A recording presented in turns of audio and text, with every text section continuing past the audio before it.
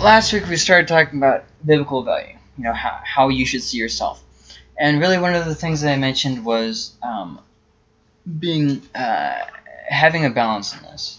You know, not not seeing yourself as too high, but not seeing yourself as too low.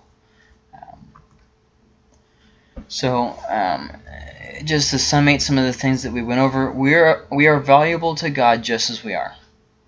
God doesn't see value based on what we may be. He sees value on based on what He made us in. Okay. Um, second off, we are incapable incapable of being good enough.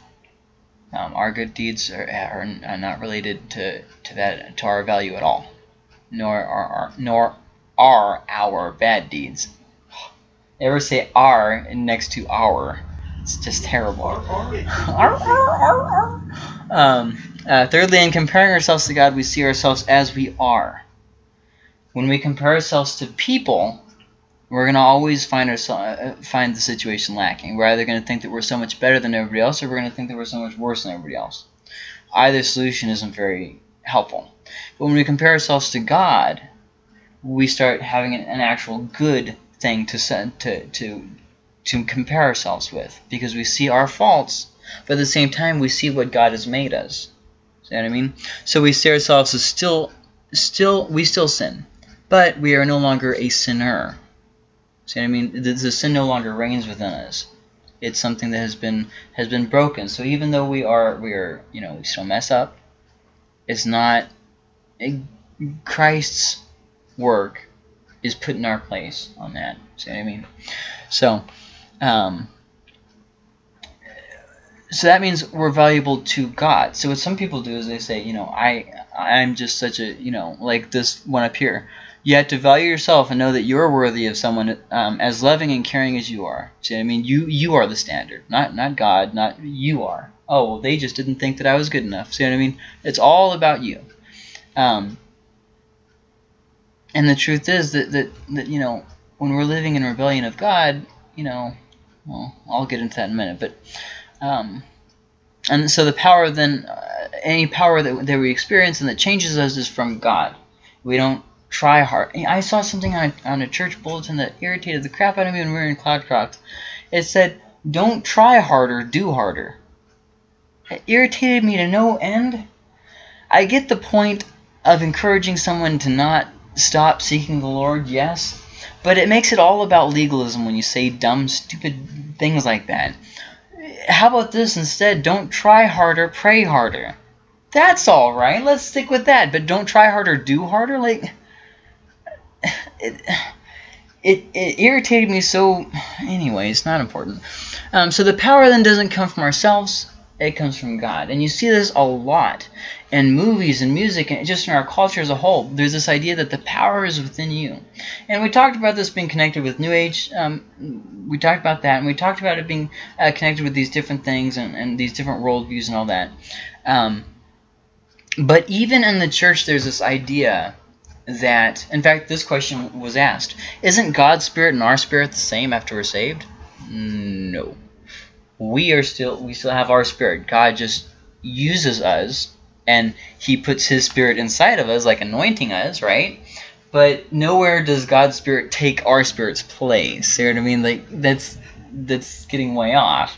Um, and uh, so so then it's not about trying hard it's not about you know be, trying to better yourself or trying to you are always going to be you see what i mean the power comes from god not from your self-determination does that make sense kind of okay um, so then also we talked about what defines us it was our heart our standing with god and our life choices in the now not our past not our um, um, reputation not our um, the way we appear to people, looks or, or, wealth and all those different things. It was none of those things.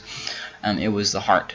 Uh, so, um, comparing ourselves to others, this was the last thing we talked about last week. Comparing ourselves to others and maintaining a secular worldview will cause us to hate ourselves.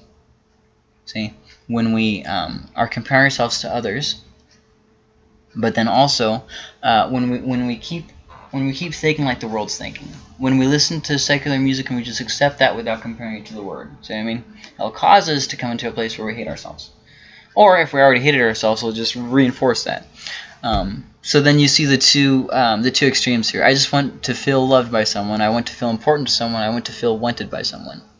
You know, you have the two extremes there of look how valuable I am, look how important I am. I, if you guys watch American Dad, I've got big stuff going on. I'm an important person. You know, uh, whereas this other person's you know a whole you know what is it the pastor says all the time? I'm so low the ants are peeing on me. Anyways, so it takes me to something that I hear a lot of pastors talk about sometimes. and it starts out somewhat, somewhat like this. Oh, we're all so lowly. We're, we're, we're just so oh we're people are so terrible and they're so so sinful and they're just oh we're, we're all just such sinners and you know what I mean? That that that just down tone you know what I mean? And I'm not talking about the stuff that um, Joel Osteen does where he goes to the other extreme. He never even mentions sin. He doesn't mention anything like that. He just everything's about good feelings and, and, and rainbows and everything. Okay fine. That's what I'm talking about what I'm talking about is where a pastor for the whole hour long sermon sits there and tells you how terrible of a person you are and doesn't give you any, any like this is what you should do. It's just all about all the terrible things you've done. You know, oh well, we're such sinful people, we could never be saved. And then he doesn't stop there. He goes and you know, even after salvation, you're just a terrible person. And you know, it goes on and on and on. You know, those doom and gloom pastors, and then eventually, somehow, the conversation always turns to Revelation or something about the end times. Eh, eh, eh, out of nowhere, too. You're all sinners. You're going to hell. In Revelations, what? you know what I mean? Like just out of nowhere, the eternal curveball. Anyways, um, so yes, people are sinful, and get this: people need the empowerment of the Holy Spirit just to see that they need salvation. Fact, that's true. Because sin has a way of corrupting us, has a way of blinding us to, to the fact. That's true. And it's also true that apart from that Holy Spirit show enlightening your mind, enlightening your soul, you would never even understand the concept of why you would need grace. That's true. But it doesn't stop there. Um, God gave freely when he gave Christ to any who would believe. And he also, the Holy Spirit, moves in everyone. The Holy Spirit calls everyone. The problem is that not everybody listens. See what I mean? But that's not God's fault. I don't think that God enjoys pronouncing judgment as much as people do. You know, and even when you're praying for someone, like we talked about this when I was talking about the Jehovah's Witness, we're not praying that God would come against them and destroy them. And no, no, no, no, no. We're we're praying that the, yes, the church would close, yes, but we're praying that God would draw them in by His mercy and His love. See what I mean? We're praying that they that they would that they would desire more of God.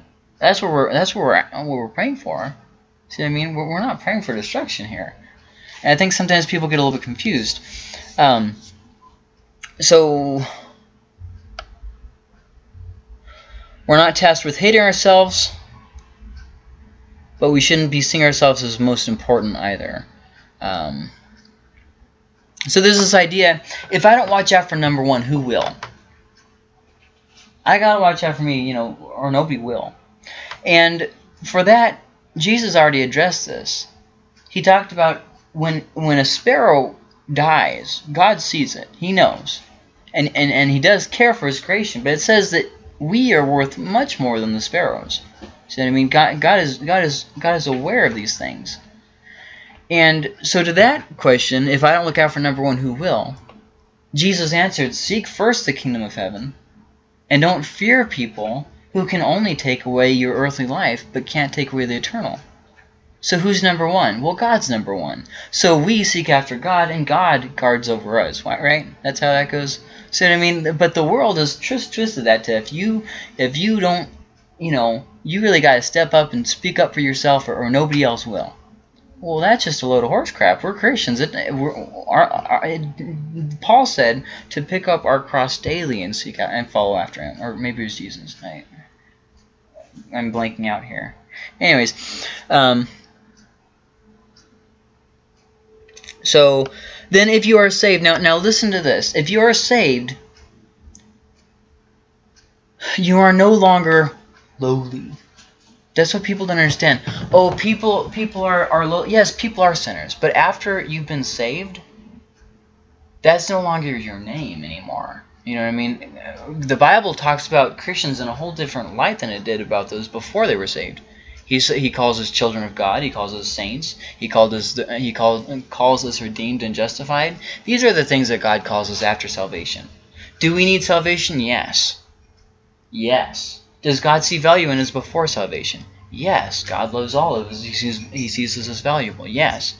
However, once we are saved, the slate's clean.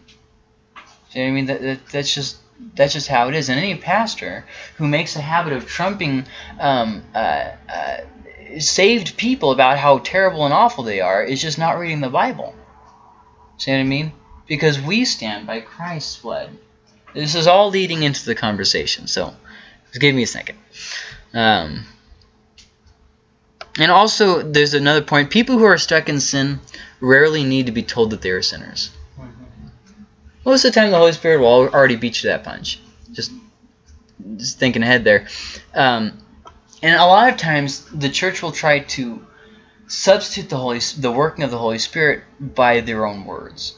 See what I mean? Rather than waiting on the Holy Spirit and seeking after God and expecting for Him to convict a heart, Christians try to, kind of try to move it faster and try to play the play the card of conviction before the Holy Spirit can but I had just the right words to say.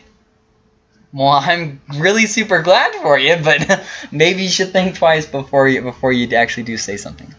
Um, however, I'm not saying we shouldn't mention sin. I'm just saying you catch more flies with what is it, honey than where does it go? Honey than vinegar. Yeah, honey than vinegar. The, you know that's, that's that's a pretty good point. You know, you, you just because we have to tell people that they're in sin doesn't mean we have to do it without tact at the opportune time. And oftentimes you won't even have to, like I just said, you won't even have to mention that they're in sin. So, in fact, I'll go a step further. I have yet to meet someone who got witnessed to and then saved, who needed to be told, you are a sinner, you are horrible, and you need to, you need to repent from your evilness right now. Do you know what I mean? Like, I have yet to see this. So, anyways. Um, so a good balance of this, mention God's grace and kindness more than you mention sin. I think that's a, that's a good balance. But uh, a, a, good example of this is the woman caught in adultery in John chapter 8. Somewhere around John chapter 8. Somewhere around there. Um, the, the, the people say this woman was caught in the, in the act of adultery. Right? And then after all of it, he basically, uh, uh, you know, gets other people to leave. Long story short, I'm not going to get too much into that. But then he says this to her. Then I don't condemn you either. Go and sin no more. See, it wasn't just, oh, I don't condemn you either. Love and, and cuddles and, and lollipops. But then he said after that, he said, and sin no more. See what I mean? There was a dual a, a dual dual focus there, but the thing was was timing. See I mean, Jesus knew what to say and when to say it. He wasn't just spitting out ignorant things. Um, so love God, love others, and love yourself. And the interesting thing is if you love God, you will learn to love others, which will cause you to learn to love yourself eventually. You just keep seeking after God, and the rest is kind of like a trickle-down effect. Um, but don't draw pleasure from yourself. That is actually the definition of pride gaining pleasure from oneself. I just thought that was funny. That's what the dictionary says. Pride, one who one who gains pleasure from themselves. Like that just made me laugh. Like, look how great I am. um, but I would add more to that. Pride is focusing on anything other than God. So you have some people who don't go to church anymore because they've been hurt. So I don't go to church anymore. So they have pride in their pain. Pride isn't always, you know, that attitude of I'm better than everyone else. It's just saying that something is better than God. See what I mean? Either your money or your yourself or your sins of the past or whatever. Whatever is keeping you from focusing on God. See what I mean? Um, so, anyways. So, we're good on the recap, right? Uh-huh. Any questions about anything we talked about last week? Okay, let's get into the actual this week. What are some common self-criticisms? not smart enough. Okay. Give an example. Um, like, let's say say you're going to apply for some sort of job or something Okay. that has a certain requirement, um, education wise. And uh, like you have to pass some sort of test, so Mm. you tell yourself, well, might as well not even try. Mm. Like talking yourself out of it before you even get there? Okay. Alright, yeah, that's good. Anything else?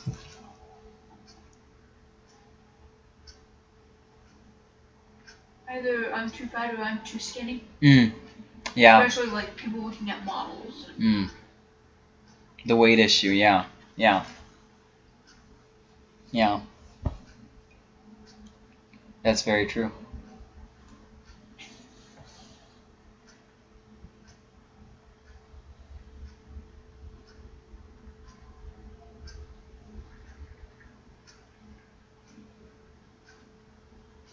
What are some self criticisms?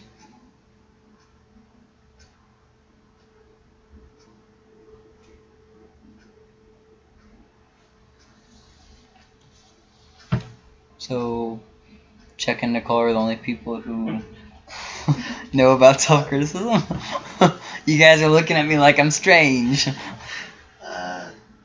They're like, I love me. They're the people on the other side. I'm too ugly. okay, so physical appearance? Yeah.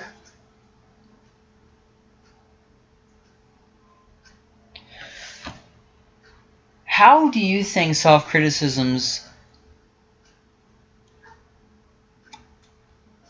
negatively affect life or your life? Doesn't have to be your like an actual example from you. But. I think we fail to try to do things Okay. that we could normally, we would could probably accomplish, Yeah. except for that we tell ourselves things like Chuck said, I'm not smart enough, um, I'm not pretty enough. Um, e- even, you know, as a kid, I think all those things start real early, you know, like this, these kids are smarter than I am. Mm. And then like even into adulthood, you know, Yeah. um, you, you you're constantly comparing yourself to other parents as parent, like super moms, you know, Hmm. you see things about super Yeah. moms all the time and you're like, I'm not a super mom, I'm a failure as a mom. Like I'm my kids are lucky if I get up and make them breakfast in the morning. yeah, my kid Mike is on his own when he gets older. I'll be like, there's cereal in there, I think. Right? If not, the store's over there. People that are so crafty and uh, you know, and you're just like, I'm a failure as a mom. I am a failure as a wife. Like, I don't know. Just I think it's because we get caught in that comparing ourselves to other people. That's I think a lot of what causes us to criticize ourselves. so much. And some of it is, is not a fair. okay. So, Can you elaborate on that a little bit? uh, just.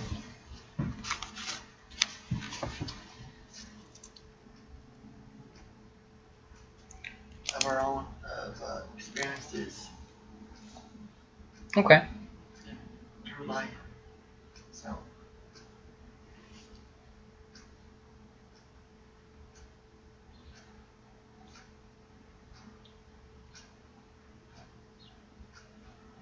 Anything else?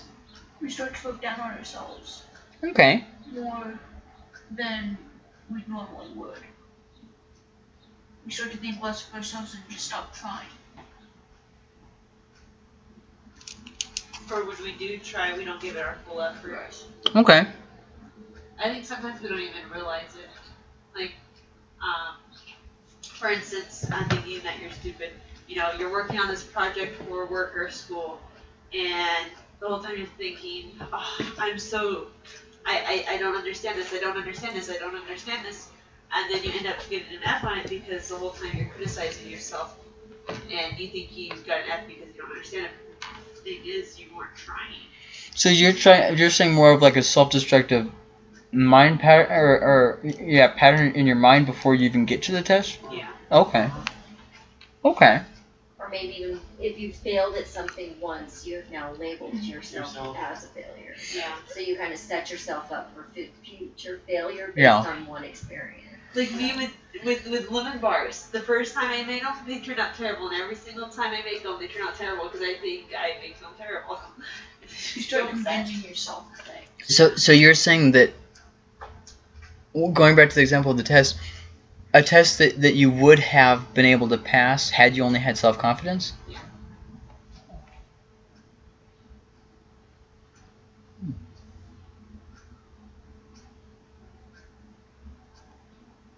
And anything else? What was that that you had said, Nicole, there at the end? It, you basically start talking yourself into things. Okay. into things. Like you, you trick your mind.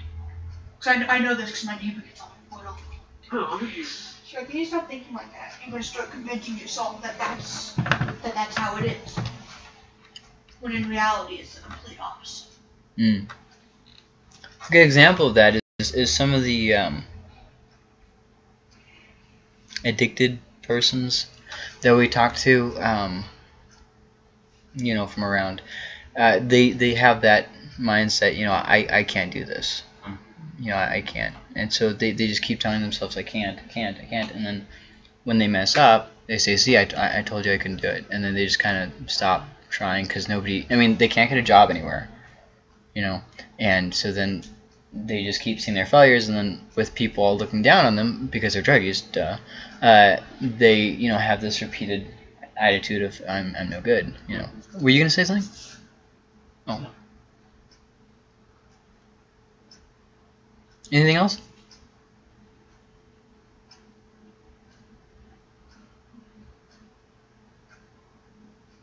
Plow ahead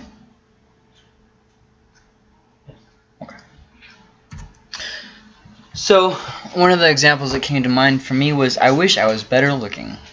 Because this is something you hear, I mean, from everybody. High schoolers, adults, men, women, everybody, everybody at, at one point in their life says this, you know. Um, there's always that one thing about ourselves that we don't like. And something that I've come to realize is that there is no such thing as a perfect person. We just see ourselves there every day, so we think that oh, there's something extremely bad with us. Stop looking in the mirror and you won't see yourself so much. I'm just kidding. Um, so to that, we're going to look at a few passages to, so I can I can show you a pattern when destructive thoughts go into your head. Okay? Combat them with scripture. And I'm going to show you exactly how to do that right now, okay? All right? The self-criticism in, in, as an example is I wish I was I wish I was uh, better looking.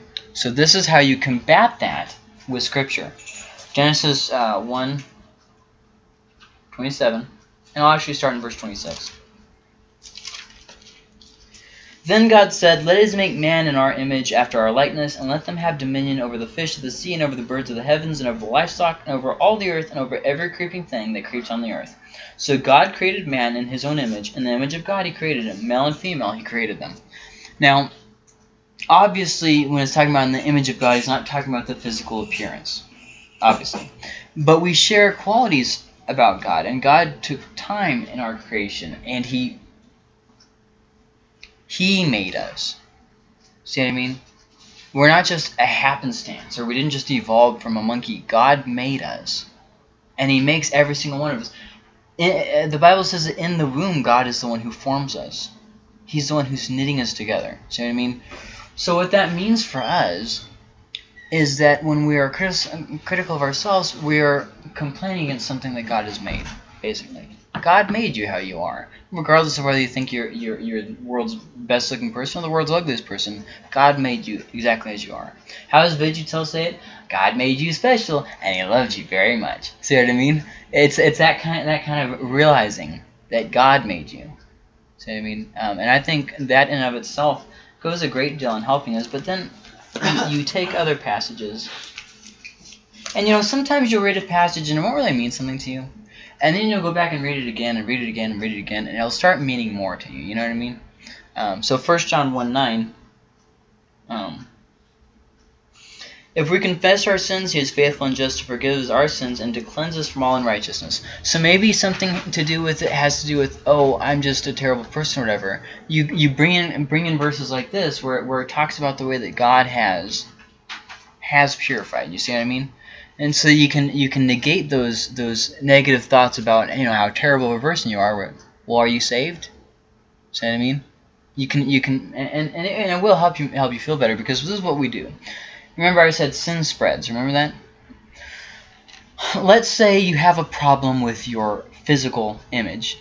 Eventually, or already, you will have a problem with your spiritual image. Because sin doesn't stop. See what I mean?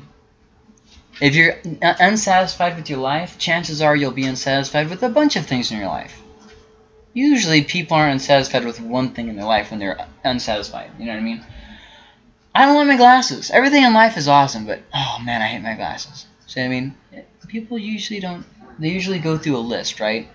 I have a crappy car, I have a crappy house, I have a crappy job, I have crappy kids, I have a crappy spouse. See what I mean? It just goes from thing to thing to thing. You know what I mean? And, and it doesn't stop there. It, it goes and it goes and it goes. So then when you get to your own spiritual personal life, what do you think is going to happen? See what I mean? Because it's the attitude that's there.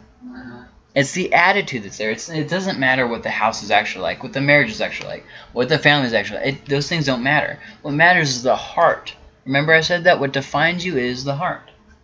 See what I mean? So until the heart changes, there probably isn't going to be too much uh, resolution on the issue. 1 Corinthians uh, 7 8 says, To the unmarried and the widows I say that it is good for them to remain single as I am. See, a lot of times with our physical Im image, what do we say? Oh, I'm too ugly to get a spouse. I, I, I, can't I can't get a spouse. Well, what did this just say here? To the unmarried and the widows I say that it is good for them to remain single, as I am.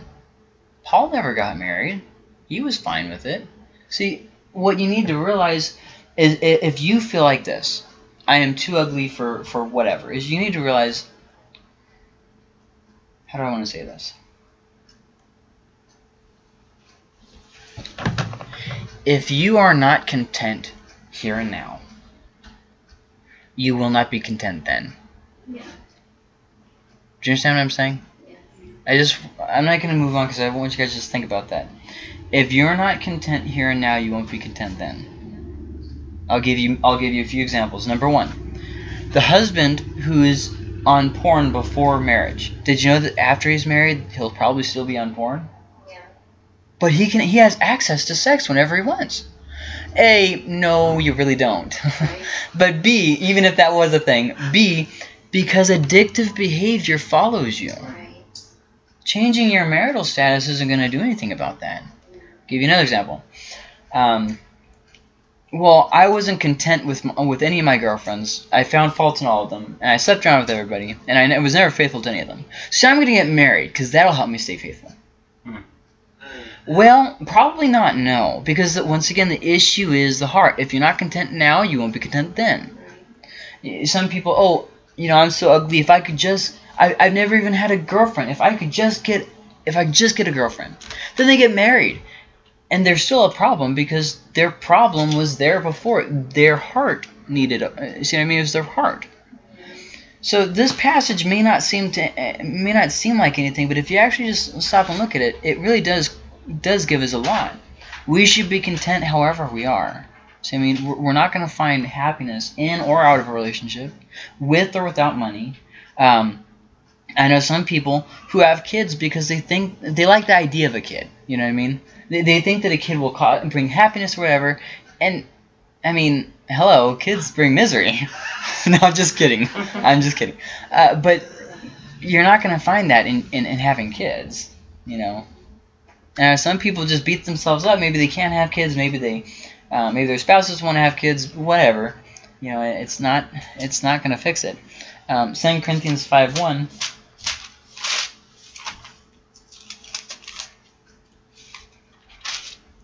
For we know that if, if the tent that is our earthly home is destroyed, we have a building from God.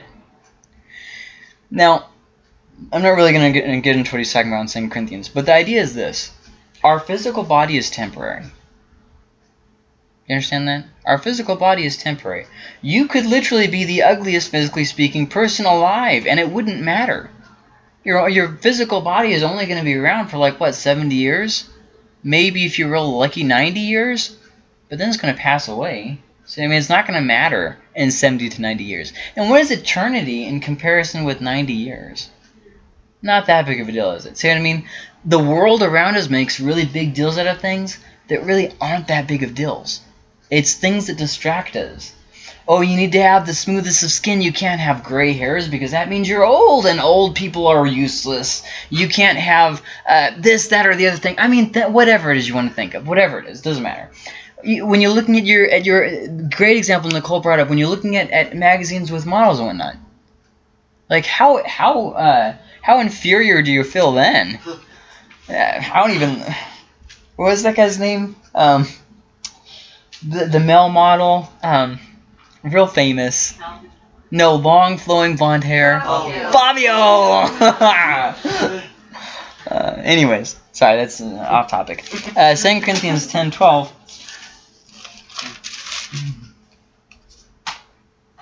Not that we dare to classify or compare ourselves with some of those who are commending themselves, but when they measure themselves by one another and compare themselves with one another, they are without understanding.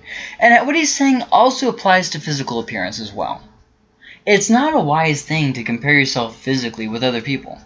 So then that comparison of ugly, you realize the only reason why you have the comparison of ugly is because you're comparing yourself with other people.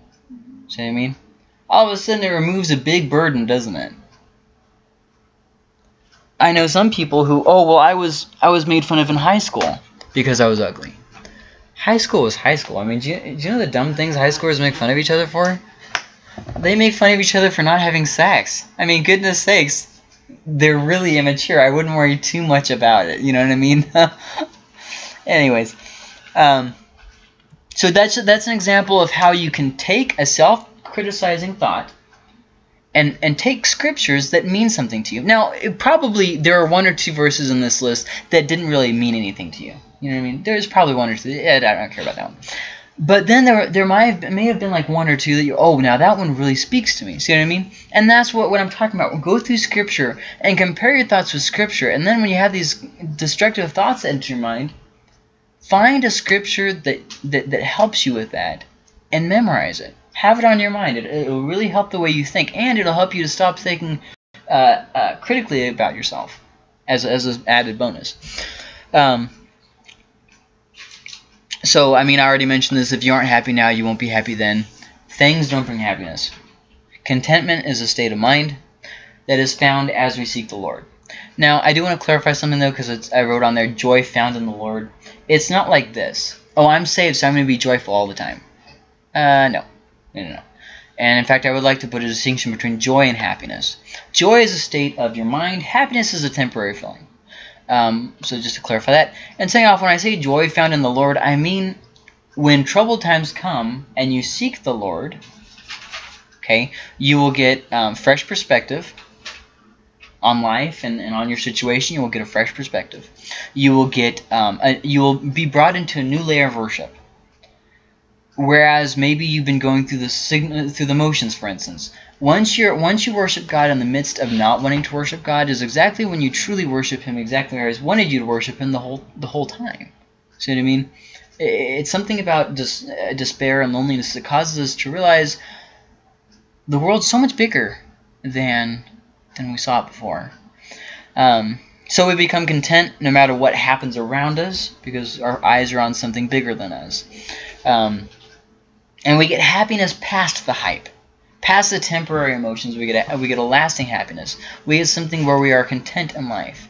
That is the joy that I'm talking about. Um, it's it's it's.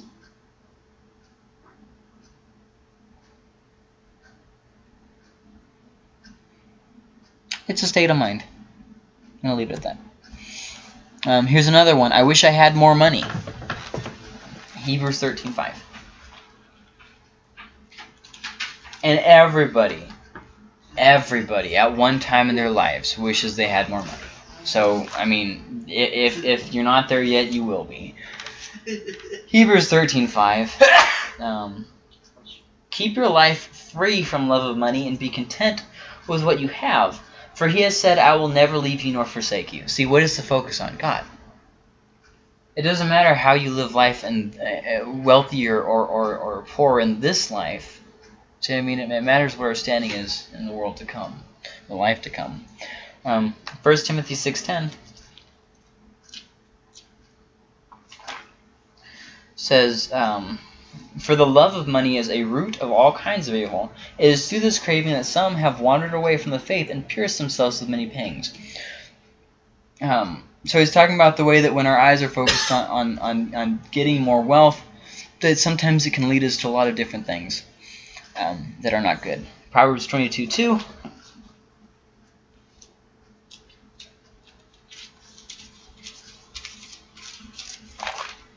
The rich and the poor meet together. The Lord is maker is the maker of them all.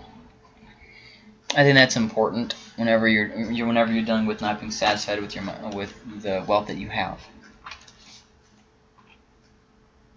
God makes some people rich and He makes some people poor, and then other people He makes rich and then takes their wealth away from them, and other people He makes poor and gives them wealth. James two five. Listen, my beloved brothers, ha- has not God chosen those who are poor in the world to be rich in faith and heirs of the kingdom? And really, the idea here is this: wherever you are, God can use you. Wherever you are, God can can work through you. But if you're if you're focused on stuff like money, you're probably gonna miss it. See what I mean? Because your eyes aren't gonna be on God. You're just gonna be out there in la la land. You know what I mean? I'll give you an example. Let's say you don't believe in drinking except for um, when you're in, your, in the privacy of your own household, right? Okay, which is fine. I'm not saying anything one way or another about alcohol. I'm circumnavigating that issue. Um, let's say you have an evening that you decide to drink and you have a little bit too much and so you're a little bit, say, foggy. And someone comes to the door and you answer the door, but because you're a little bit loopy, let's just say, um, you're not able to discern that they need prayer and that, that the guidance that you could have offered them is now lost because you were a little bit intoxicated. So, I mean, that's a good example, a good example of, of what I'm talking about here. Um, when your mind is elsewhere, you're going to miss opportunities that come right by your front door, even. See what I mean? Because you're going to be focused on that thing that you, you think will make you happy. See what I mean? You, you guys get what I'm saying? Or? Okay. Um, so things in the world will never give us a lasting satisfaction.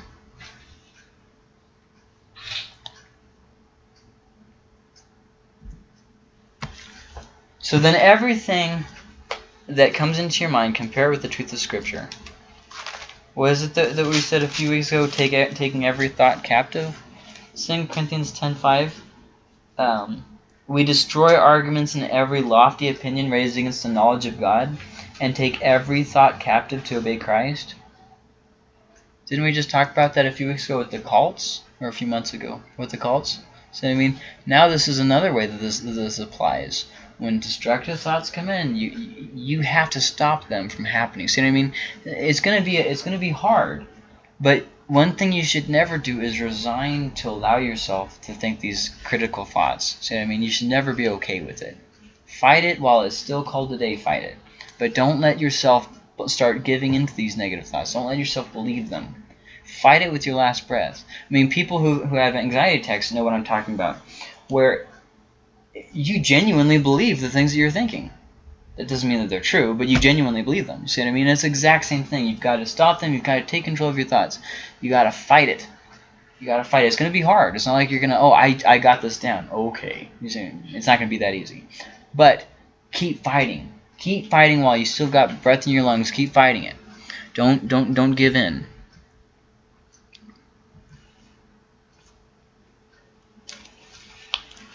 So some noteworthy passages, Romans 3.23. I'm going to go to this other slide right quick.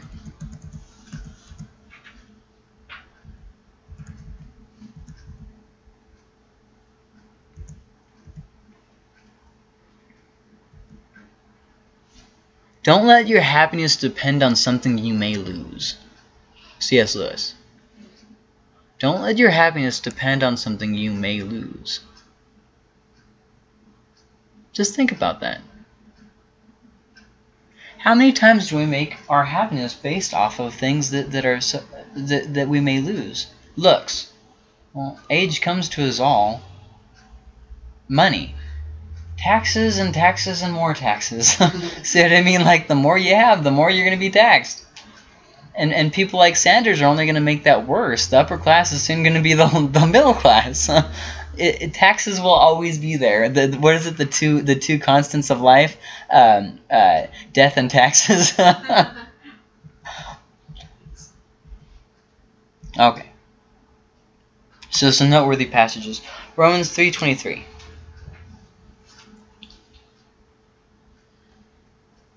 For all have sinned and fall short of the glory of God. What he's talking about is he's talking about in way of of of of um, the standard before God compared to God in ways of salvation. What he's talking about is everyone needs salvation. He's not saying that those who are saved are still scum. See what I mean? That's not what he's saying. Before we were saved, yes, we were sinners. We were, we, our hearts were, were, were, were against God. We were rebels. Okay, fine. We're not we're not rebels anymore. We're submitted to God. What he's talking about here is he's only talking about the way that everyone needs to be saved. That's his point.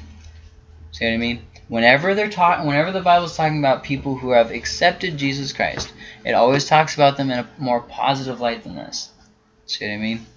Always. It never calls them scum of the earth. It never calls them lowly. It never calls them all those stupid things. Know what I mean? Because we have a new name once Christ's righteousness is given to us. So then Christ is the one who makes us righteous. This is talking about salvation. All right. Hebrews 11:6.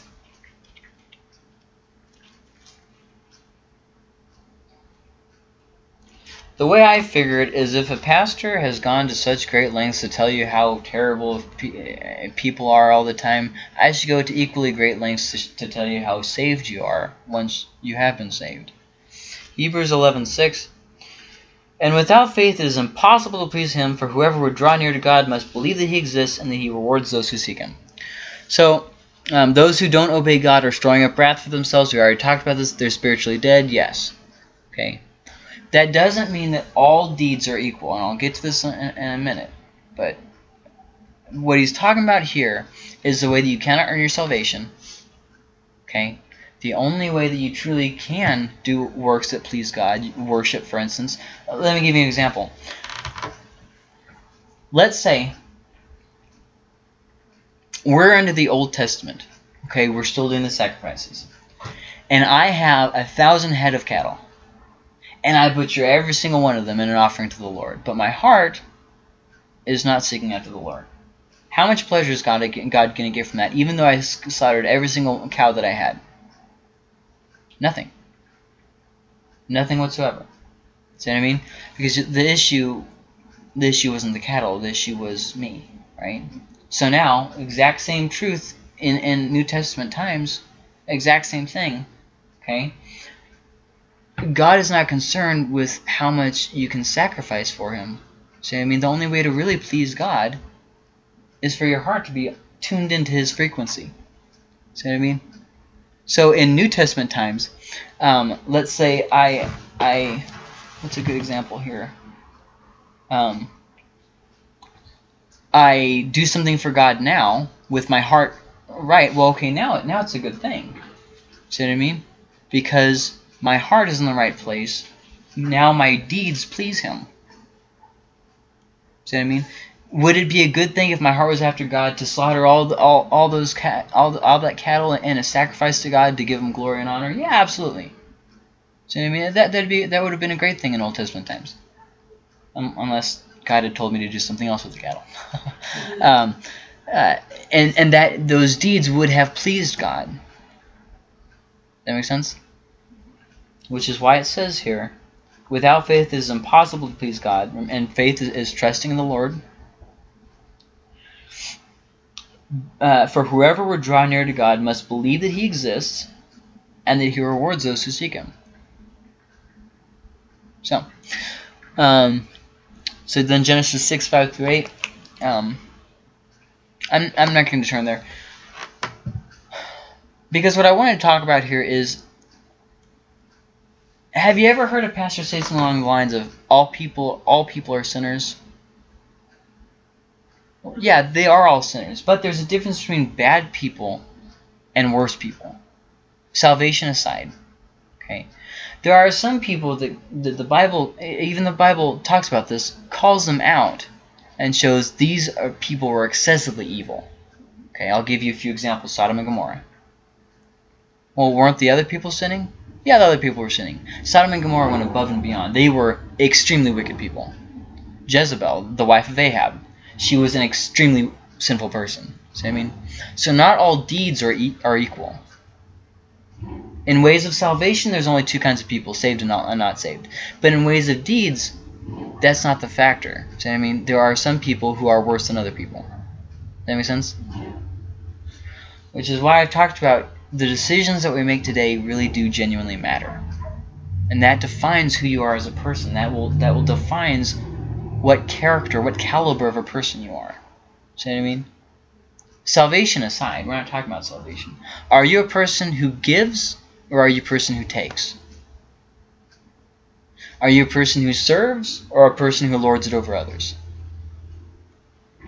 Are you a person who gives up on your happiness for the sake of other people's happiness? Or are you the person kind of person who goes from thing to thing to thing looking for something that's pleasuring? See what I mean? That defines you. That that that defines who who you are as a person. Um, but First Samuel sixteen seven, you know, says about how the Lord looks at the heart. People look at look at look at your outside, but it's the Lord who looks at the heart. Um, yeah, I'll just leave that there. Um, so okay, this is something that pastors talked about that I think fits in great with this message and with this uh, lesson. You are a doormat if you see yourself as one. Some people say, "Oh well, I, I'm not going to let people walk all over me. I'm not a doormat." You're a doormat if you see yourself as one. If you don't see yourself as one, you're serving you're serving people because you love God. Or you can see it like this: people are just walking all over me. Or you're serving people. It's however you want to see it. See what I mean? Um, also, life isn't about you. I was actually surprised that this verse was actually in the Bible. Isaiah 58, 10 through 11. If you pour yourself out for the hungry and satisfy the desire of the afflicted, then shall your light rise in the darkness, and your gloom be as noonday. And the Lord will guide you continually, and satisfy your desire in scorched places, and make your bones strong. And you shall be like a watered garden, like a spring of water, whose waters do not fail. There's a lot of people nowadays who look for happiness, look for contentment by an inward journey. They look for happiness, they look for contentment by pleasing themselves, by doing things that they enjoy doing. What did Isaiah just say? Just say? It's in self-sacrifice that you're really going to find your contentment in life. It's in self-sacrifice that you're really going to be blessed by God. See the difference that, the, that our world shows us? And value in, in our in the world's eyes and culture's eyes is based off of this. It's all about you. Everything in our culture says this. Your worth is, is not based on, on who you are. It's based on the things that, that, that you could potentially uh, give. So I mean the things that you could potentially make. Steve Jobs is only valuable because he, he, you know, Apple and all that nonsense. Or Gates, he's only valuable because of Microsoft. See what I mean? That that's how people. In fact, it's even built into our culture like this. Do you know what that person's worth? Our culture has it built into that. They're worth five million dollars or seven trillion dollars or you know this, that, and the other thing. Their their net worth or whatever they call it. It's built into our culture that that's what makes you valuable. See what I mean? Um,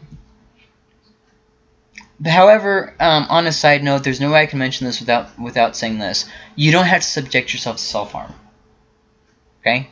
In relationships, you don't have to subject yourself to self-harm. You don't have to be. You don't have to allow yourself to be abused or, or physically harmed, just because you're you're seeking the Lord. That's not something you have to do. Okay? If you are in a position where you need help, um, I think it's very important that you do seek help. Uh, find someone who, who's a confidant um, and, and, and who can help you get the help that you need. I mean, th there's numbers that I can look up for you. There's, you know, whatever. If you're in a situation where you don't feel comfortable, that is definitely a situation that you don't have to subject yourself to. Okay? All right? So, um, God loves everyone and desires restoration. These are all just kind of capping everything from last week. See, this this lesson was actually supposed to be last week, so I'm trying to make it into a lesson of its own. So if it seems like it's a little bit longer than it needs to be, that's why. John 3:17 For God did not send his son into the world to condemn the world, but in order that the world might be saved, excuse me, through him. God loves everyone and desires restoration. We need to start seeing ourselves different than the world tells us we are. See what I mean? And why I keep pounding this in is because you're going to hear it on the TV. You're going to hear it on music. You're going to hear it in the news. You're going to hear it from people. You're going to hear it at, at college. You're going to hear it at work. You're going to hear it from your kids when they get home from school. Everything in our culture tells us what makes someone valuable, and it's all wrong. All of it. It's wrong. And so I'm really trying to dive this in because if the culture is doing that making it, pounding it in that hard that you're not a value, then I need to pound it in just as hard that you are a value. Um, so you have to forgive yourself, and we talked about this a couple weeks ago. If you guys remember that, um, do you have to forgive yourself? You have to forgive yourself and accept yourself for who you are, while submitting to God to change you. And that might sound like a little bit of a maybe um, not hypocritical, but um, what's the word I'm thinking of? Self-defeating point or uh, Like an oxymoron. yes, oxymoron. Thank God. All of you were no help. That might sound like an oxymoron, so let me explain. You're submitting to God to change the bad things or behavior patterns. Um, this would be things like stealing or being stubborn. Okay. However, your character doesn't necessarily change. Like, for instance, let's say before you're before you submit to God, you're a stubborn person. So then you submit to God, and He starts working in you, and you're no longer stubborn. You you persevere. Wasn't that the same thing? It it it has the same root, but one is used for bad, and the other one's used for good. Being stubborn is having a strong self will. Persevering is is is keeping to it, not not not not quitting, basically. See I mean? God can take that bad thing, stubbornness, and turn it into a good thing, perseverance. See I mean? That kind of makes sense. So your character, you'll still be you. You'll just be made into the image of Christ, which means your behavior patterns. Does that make sense? Kind of. I, I, that is a lesson in and of itself. Okay, so I'm trying not to get too much into that because we are going to eventually get to that. Um, ah, just not yet, because that's like that's like two two weeks lessons in and of itself. Um, um, and uh, why bring that up? Um, you have to forgive yourself and accept yourself while submitting to God to change you. Have you ever heard somebody say this? That's just who I am.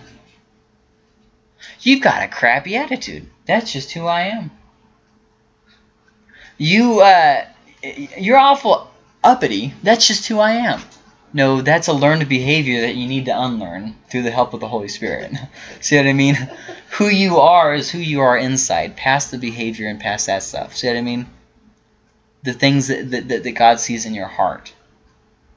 I I know I, I know somebody who's extremely, let's just say, easy to be influenced when around others. So they act in a way that's not really them. Have you guys ever met someone like that?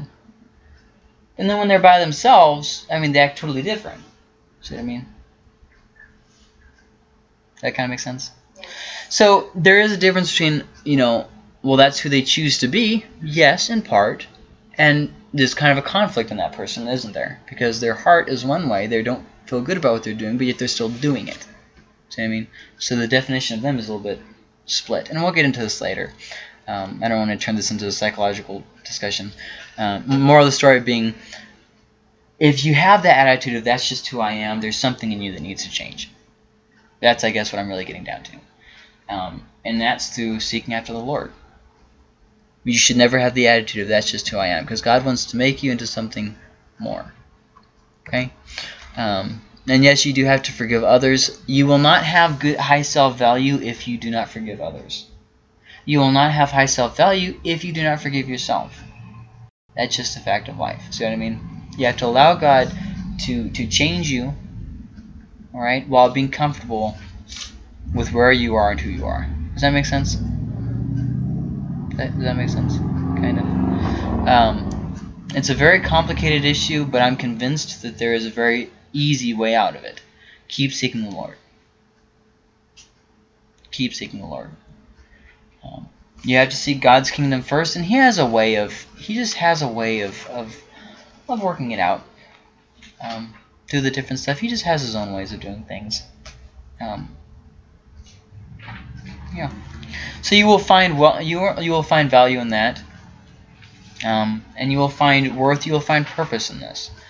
Um, your your sense of what worth doesn't come from how great you are. That's pride, but how special God sees you. Humble. When you focus on God and compare yourself to God, it will make you humble because God will make you humble. Um, life purpose comes in seeking God and living life His ways. That's how we're going to find purpose in life. Is as we seek after the Lord, God brings by doors. You know, the people people think, oh, I have to have a special. We talked about this before. A special revelation from God, right? Light from above, to where He's going to show exactly every step that I need to walk in life, and then I'm going to find my purpose. You need to find your purpose before you ever get there. And how you do that, how you find your purpose in life, is in seeking God. A lot of people aren't called to be a, a, a pastor. See what I mean? Uh, ben is a caregiver. Okay? But as he seeks after the Lord, God draws open doors by him, and now he's also a what are we calling you guys? Elders? Deacons? Whatever. Basically, deacon, bishop, elder, whatever you want to call it. I don't care. Um, now he's one of those. See what I mean? Because as he sought, sought after the Lord, God opened a door. See what I mean? Um, so that kind of kind of makes sense. Serena uh, is all, actually also a caregiver, uh, so I, I, I, I, won't use you. Uh, uh Gracie's a stay-at-home mom, but God opened a door for her to be able to lead the kids' church. See what I mean? As we see God, He has a way of, of opening doors for us, and we find our purpose in Him. We find our value in Him, and we find our worth in Him. And so your purpose is not being about being successful. As you seek, God will open doors of ministry. You know, it's not about all those things we, that we put such a high focus on in life. Oh, I need to get a perfect th this job. I need to go to college so I can get this job so I can work nine to five so I can work my way up the up the ladder and become the CEO of this business. It's not. It's not about. It. Uh, it's not. You're, you're not going to find purpose if that is your goal there. See what I mean? You're going to find purpose as you seek after the Lord. God made you exactly as He wanted you. He is working in you, and one day He will perfect you. You are, as an individual, who God made you. That doesn't mean that you're perfect. There, there are some things that, that, that you have learned over your life that God wants to work out of you. There are some things that you were born into that God wants to work out of you. However, God made you as He as He as He wanted to, and he, one day you will be perfected. Okay?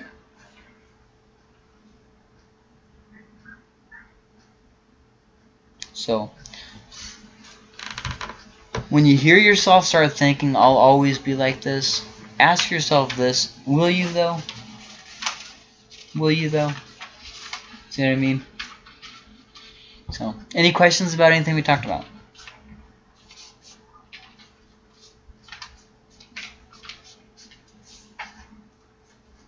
No? We're all good? Yeah? Okay.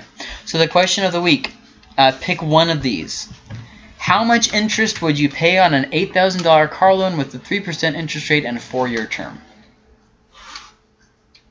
I want you guys to try and figure it out. How much interest would you pay? Or this one. How much interest will you pay on a $50,000 house loan at 4% interest and a 30-year term?